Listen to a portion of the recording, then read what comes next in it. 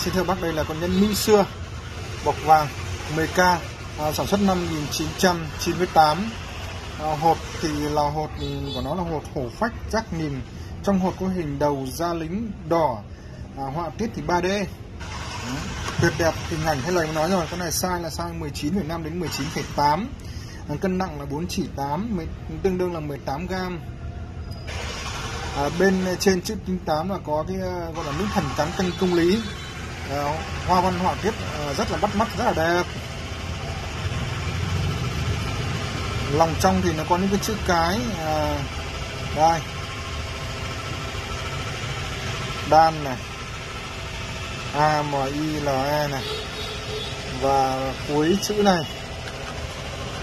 Thì xem là cái gì đây. Cái này trên này của em nó hơi ồn bởi vì xung quanh đây có nhà xây dựng. Với lại lúc này lúc sẩm tối rồi cũng rồi là 6 giờ tối rồi à, Zone Kinh 10k thông thường giờ em đi làm về. Bên này là các chữ số 19 đây Zone Kinh. Biểu tượng của logo Xuân Kinh. Hãng Xuân Kinh. Hai stone đây dòng chữ. Còn ờ, đá rất đẹp này. Đấy đá rất là óng ánh nhá. Bát giác. Mà cái này là hột củ phách. Trong hộp thì có hình đầu lính da đỏ. Ờ, ánh tia họa tiết 3D Đấy. đúng thẩm đúng là nhân mỹ xưa luôn. Đó.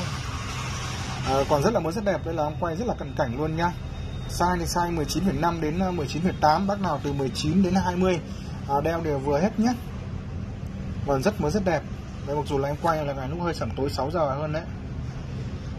Bọc vàng thì nó còn rất mới rất đẹp. Một bên là nữ thần cắn cung, cung lý này và bên này thì đó là biểu tượng ờ, logo của ờ, Josking và số 19 Đó, rất mới rất đẹp. Và nguyên zin. Một lần nữa rất cảm ơn các bác đã dành thời gian à, xem cái video về nhẫn Mỹ của em. Rất mới rất đẹp nhá bác nào mà chưa kênh của em có thể nút đăng ký kênh. Màu đỏ có phải bên dưới video cũng được quả chuông à, để mỗi khi lên kênh hệ thống youtube sẽ gửi tin nhắn rất nhanh đến đến điện thoại bác. Vì ngày nào hàng ngày đầy video nhẫn mỹ xưa bọc vàng đời ca hàng chuẩn bao nhất của mỹ xưa. Nguyên zin còn rất mới rất đẹp luôn. Tất cả thông tin về kính em đều ghi bên dưới video rồi. Kính bút nhẫn bật lửa đồng hồ đều ghi bên dưới video. Rất rõ ràng. Đấy. Bọc vàng sáng gương đấy. Quay là nó quay sẩm tối. Rất đẹp nhá. Vâng xin chào tạm biệt các bác. Hẹn gặp lại.